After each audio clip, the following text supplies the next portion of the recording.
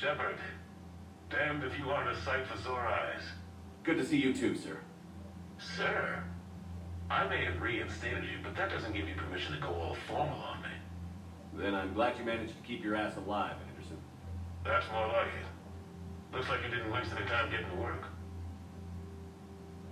I can only imagine what would have happened to those kids if they'd fallen into Silver's hands. They're definitely eager to help. These students are some of the best humanity has to offer. And we're throwing them into battle. God damn it, I hate this war. Hackett didn't mention in his report. Kahlee Sanders is safe. She's with the recruits. Thanks, Shepard. When I heard about the attack, well, I've already lost a lot of friends. She asked me to tell you to stay alive. Did she now? Well, thanks, Shepard. That might be the first good news I've heard this week. Anderson out.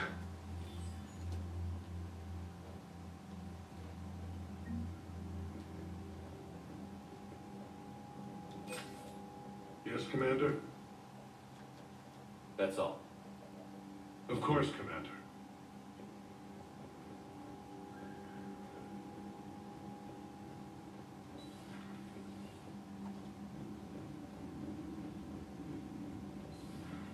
See the feed from Palaven? It's brutal. And these turians are holding it. The birds don't quit when things get ugly. I'll give them that. Commander, you may want to check in on shuttle pilot Cortez down in the armory.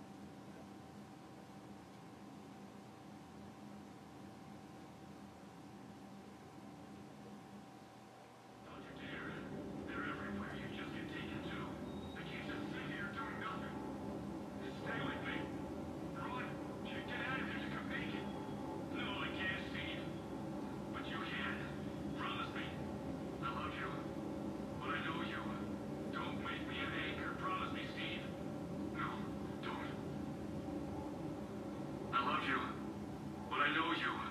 Don't make me an anchor. Promise me, Steve. No, don't. Commander. Sorry.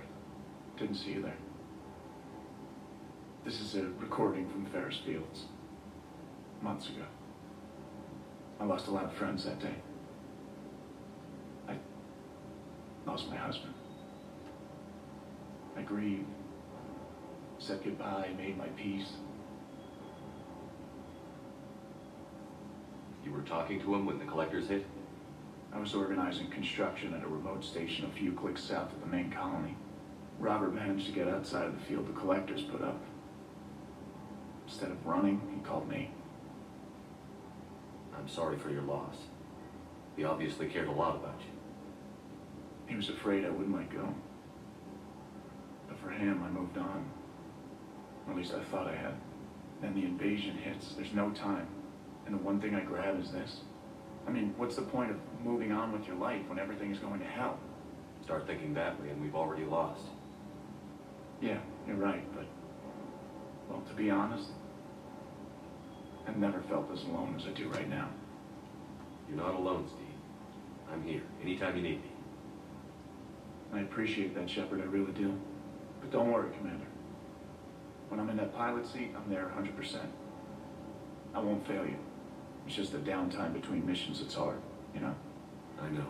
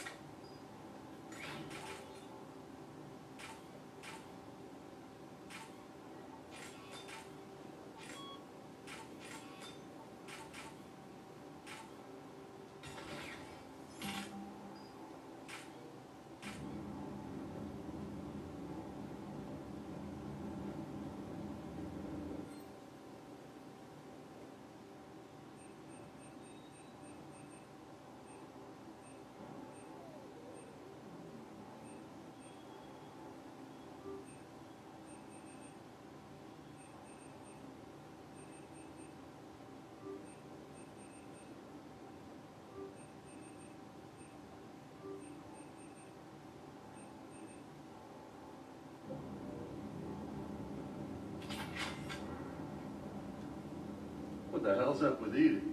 She's found a new home, I guess. A super hot, sexy home. You take her on a mission, I'm gonna be just a little bit distracted.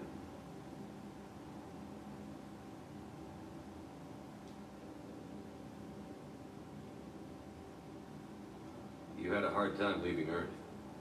You still want to head back? Oh, yeah, but I get it now. It's not where I'd be most useful. Not yet, anyway. We'll get back there. I know. And I'll do whatever it takes to get us there, Commander.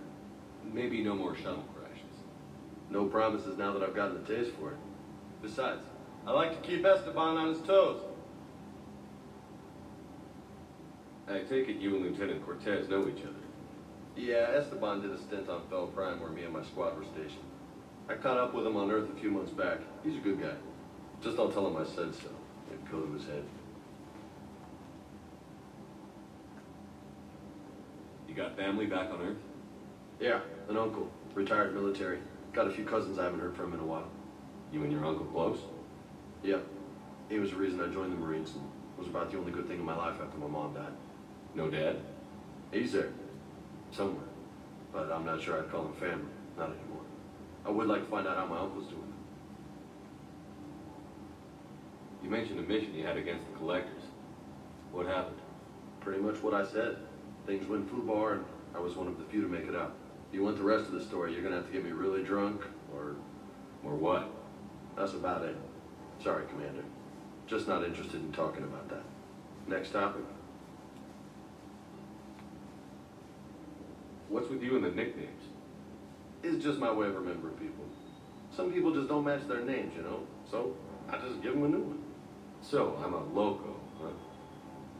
Yeah, I mean, I'm pretty crazy, but the shit you've done makes me look sane. I'll talk to you later. You bet.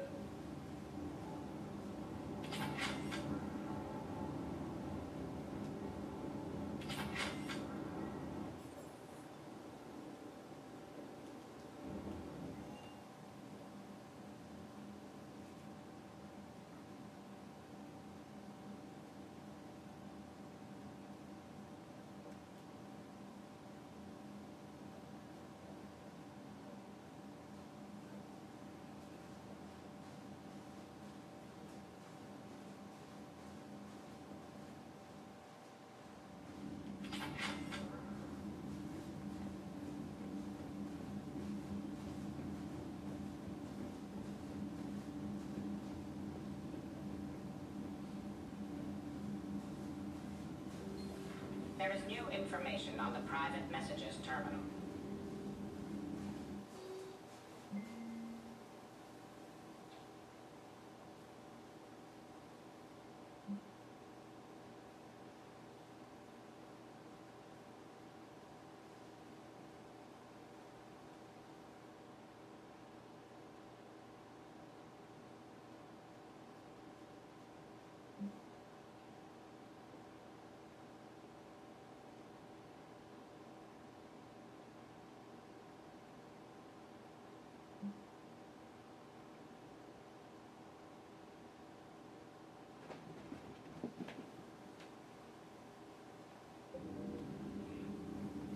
It was odd to see an entire academy just for biotic children.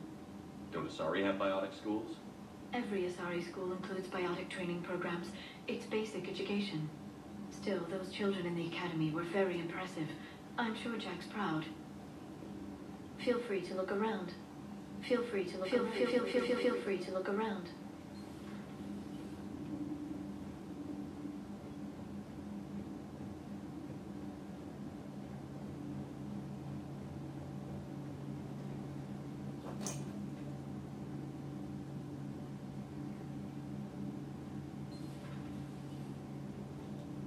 One of the worst parts of this war is watching the kids react. If they're lucky, they grow up thinking the galaxy is basically a decent place.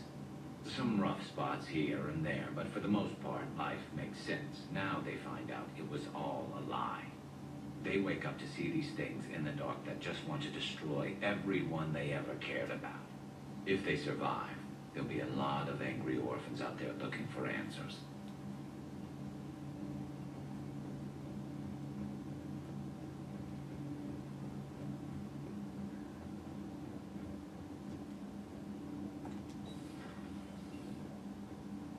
I'm glad to see we have Garrus back.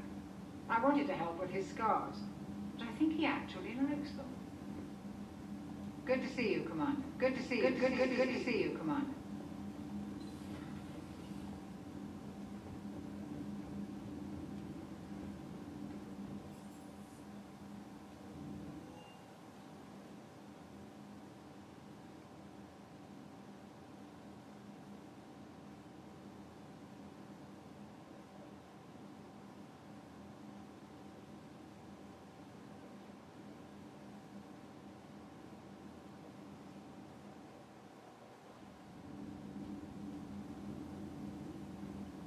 I just got word. Everyone from Grissom Academy has arrived safely. We wouldn't have known about them if you hadn't caught the distress signal. Nice work. Thanks, Commander. Commander? Commander?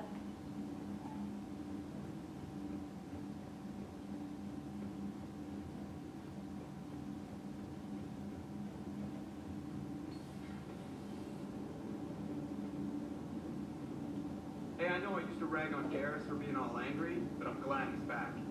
There's a whole lot of crap out there. Needs a bullet between the eyes. So Jack's an instructor? I guess anyone who messes with biotic kids gets turned into a small stain on the floor and ceiling. Ooh, and that was Cerberus attacking the academy. Man, that must have been like Christmas for her. Anyway, nice job on getting them out of there. They were thrown up. Commander? Yes, Shepard? Does that body have any useful advantages? Very few. It's optic space forward only. It has no integrated weapon systems or anti-missile countermeasures. I meant in comparison to organic bodies, not the Normandy.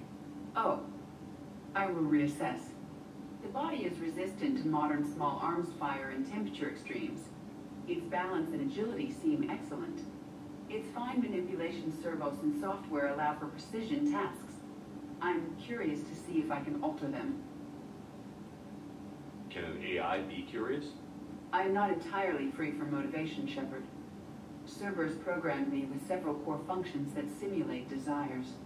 For example, my primary objective to keep the Normandy functioning is similar to your self-preservation instinct. You look like you're in the middle of something. I am adapting the infiltration and sabotage programs this body uses for handheld firearms.